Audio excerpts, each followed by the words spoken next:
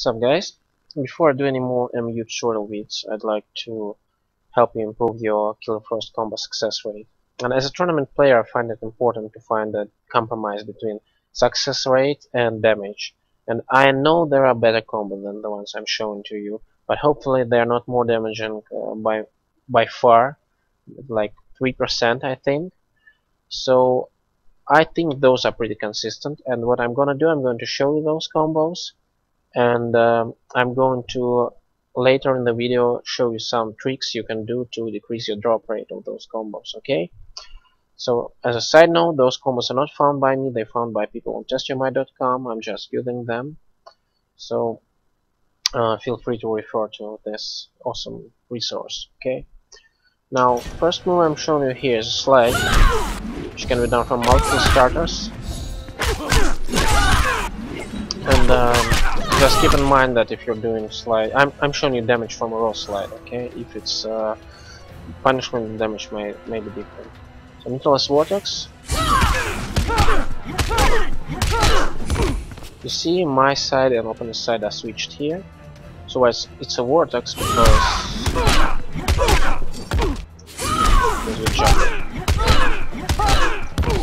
You can alter side you end on by delaying your dash so it confuses some wake up attacks and overall it's just oh, cool. This was damage. There are slightly more damaging version of this, but not, not by far. Uh, meter, meter burn reset. Okay, 29 and uh,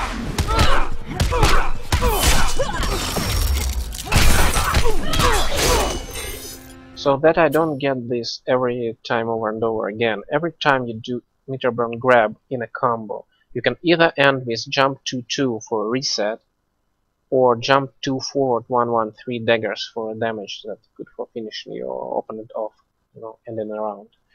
So okay, next up forward 3, back 1 up 3, and down 2 against airborne opponent, you'll use the same combo. Actually, there's another starter that uh, yields the same combo. I will get to it a little bit later. So meterless reset. Um,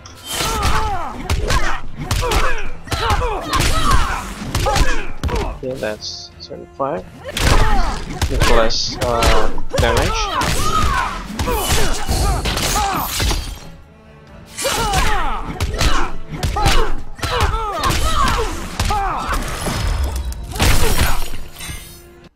And just for completeness sake, to show you the different um, combo.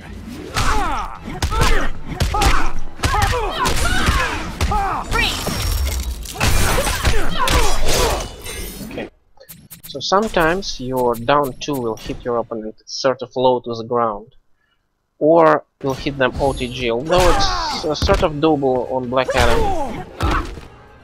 Well, just won't hit so consistently as you, would like it to. So don't push it too hard. It's um, uh, there's a different combo you can tell by you know distance from your opponent or how low he is to the ground while you're anti-airing him. So if you hit them OTG,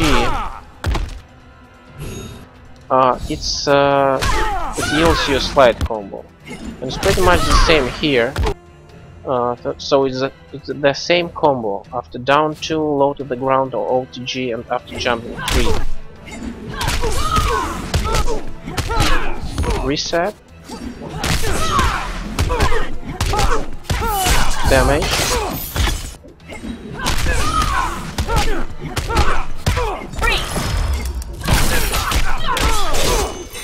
And the meter, mm, meter burn version of those, okay?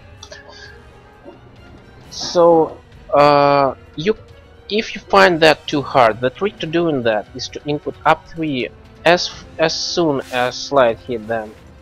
That's the combo for airborne slide as well. So okay, if, if you find it too hard, okay, some some people find it too hard. You can always sub it. That's pretty much undroppable unless you do like 2 2 2 earlier. So uh, you can sub it for that. It's about 3% less damage. Another important thing is um, jump 3 is cool, but it's not that good. Sometimes it just whips against your opponent. And also, if you hit it while you are ascending, like here, you cannot combo. See, you cannot. And that's a problem because you really need to against characters like Black Adam, for example. So what you do here, and also sometimes jump 3 because of weird uh, hitbox. Hitbox is really low. It's hitbox is somewhere where Killer Frost legs are. So it will not hit people who are jumping at you at times.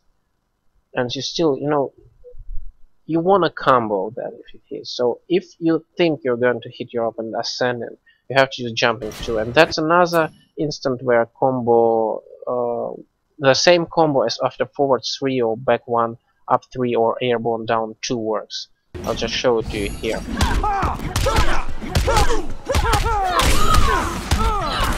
Okay, so the damage is uh, really high here and it's really useful for uh, punishing those jumps. Uh, next, I'm going to quickly for you know for completeness, I'm going to show you some combos of Ice Spike and um, air daggers uh, that hit open airborne, but nothing really you don't know already. So that's reset. Okay, you can see pattern here actually by by now I think. Oh no, that's one combo, sorry. I skipped good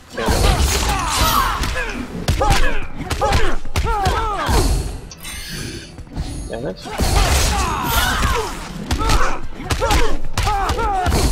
Oh, I can do it, okay. So, uh, and for meter burn version, this. That's a good reset and uh, overall cool. So for daggers, what you do is you remove one up three from that combos. Okay, so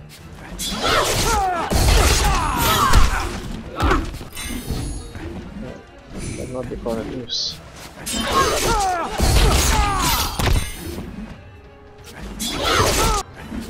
Kinda hard to reproduce. Oh, that sucks. Hell?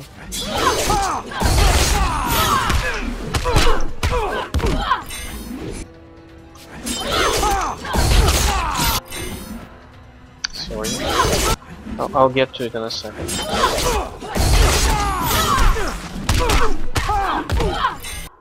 Hmm. Should work, I guess. I have to check um, the combos. okay. Yeah, that should work. I don't know why it doesn't.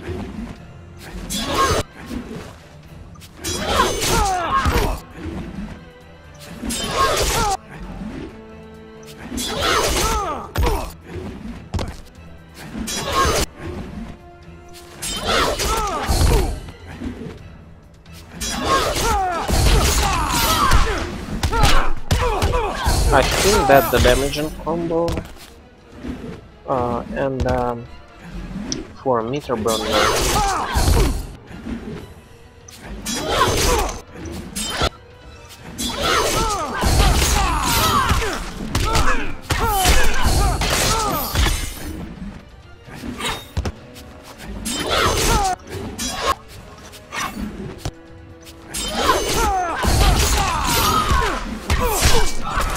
That's what you do probably.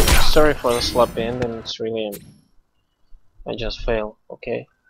So okay the most important part probably uh, I, I hope you got that. Just remove one u3 from the ice air dagger ice spike. I'm really not into that combos yet.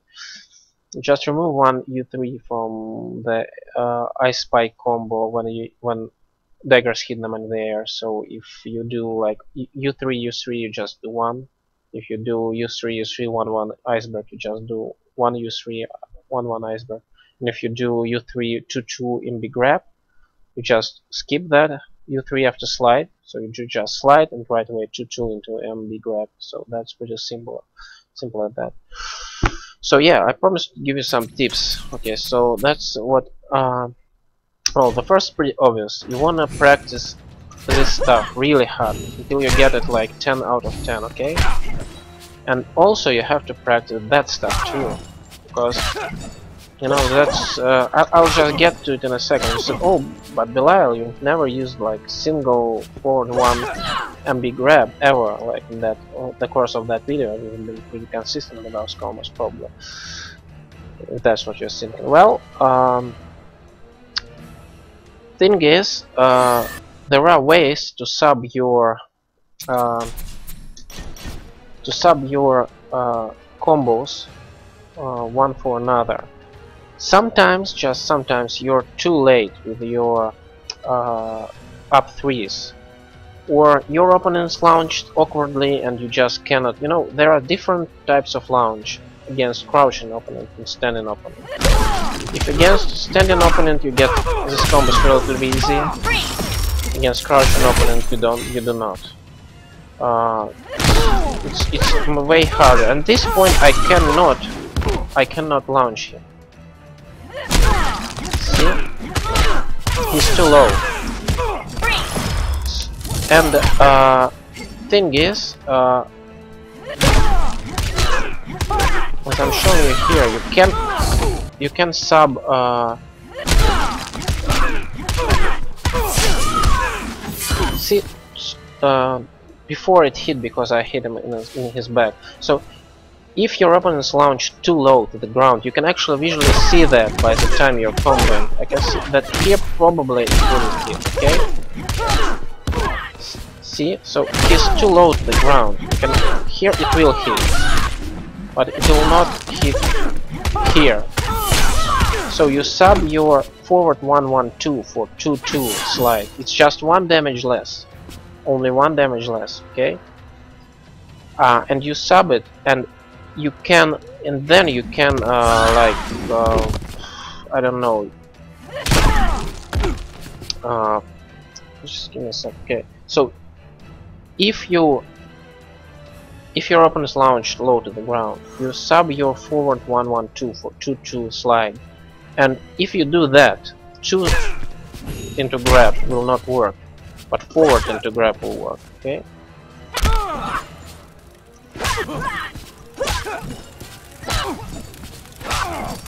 so uh, that's what you did here. It's too low to the ground and you see that. You visually confirm it. You just do that. That's the first tip. Okay? So once again, just to sum it up, if your opponent's launched too low, and that happens a lot, it happens a lot to me despite, you know, I'm pretty precise on that. Uh, it doesn't depend on you. It depends on characters, it depends on angles, it depends on if they are crouching or not, it depends, it depends on a lot of factors. And you can actually visually confirm it. And if you visually confirm how low he is, you just sub your forward 112 for 2-2. So if you use forward 112 in a combo, you can do 2 MB grab. If you use 2-2 slide in a combo, then you have to use forward 1 MB grab. Okay? So that's important to practice both, I think. Otherwise, mm, or maybe you're like super hardcore pro, you know. And another tip I'm going to give you here is uh, if you practice, why why that stuff is important, okay? Because if you're uh, uh, just get a little sloppy here. So you can sub your 2-2 uh, grab in combos or 2 grab. And that makes it so way more consistently for example after slide you know you have to hit them really high if you wanna. If, if they're if you're off you cannot combo okay? But with that technique see how low he was to the ground still combo. That make that combo so it's just one percent less. It just make it so may so way easier to combo all that stuff you will like basically never drop your double U3 uh, into MB grab combo after sliding. So that's really worth uh, going for. It's really worth practicing that stuff. But you have to practice it like a lot. I'm practicing that a lot. You see, sometimes I'm dropping that. Probably is that because I'm just, you know, really sleep. It's really late here already. 3 p.m. Oh, 3 a.m. in the morning. So it's really late. So uh, that's the stuff I want to show you okay? So uh, that's the combo that's the tips. So uh, go ahead and practice those two MB grab and forward one MB grab. I encourage you to use hitbox because doing that on pad is pretty much excruciating. Anyway I hope that helped at least somebody. And um, see you in the next video